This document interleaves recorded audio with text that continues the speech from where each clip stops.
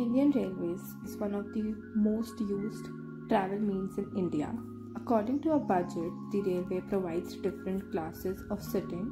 So, after this video, you can decide and choose the best of the one you like.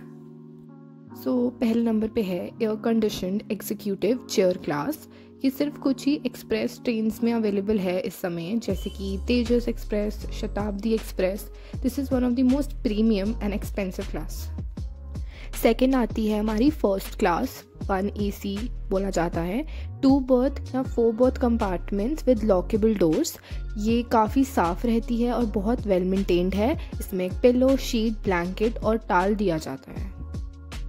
फिर हमारे पास आती है to ए सी इसमें कोई भी दरवाजे नहीं होते हैं बट प्राइवेसी के लिए कर्टन्स का अरेंजमेंट होता है। इसमें पेलो शीट्स दी जाती हैं और ये एग्जैक्ट हाफ़ प्राइस होती है वन ए सी। से हैंस ये सबसे ज़्यादा लाइक यूज़ है, जिसमें यूजली लोग ट्रैवल करना पसंद करते हैं नेक्स्ट आती है हमारे पास थ्री ए सी इसमें ना ही दरवाजे, ना ही कर्टन्स का अरेंजमेंट होता है। ये एकदम ओपन में रहती है। इसमें हर साइड पे थ्री बर्ड्स होते हैं, जिसमें जो मिडल नेक्स्ट है फ़र्स्ट क्लास लेकिन नॉन एसी में। तो ये एग्जैक्टली फ़र्स्ट क्लास जैसी होती है बट इसमें कोई एसी नहीं होता। नेक्स्ट है स्लीपिंग क्लास इसमें ये बिल्कुल ही थर्ड एसी जैसी होती है। इसमें भी थ्री साइड थ्री बर्ड्स होते हैं ईच साइड पे, और इसमें एसी का कोई भी प्रोविज़न नहीं होता।